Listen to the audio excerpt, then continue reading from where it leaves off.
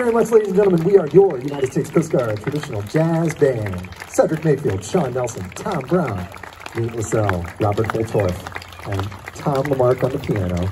I am Mark McCormick. Everybody have a great night. Thanks, New London.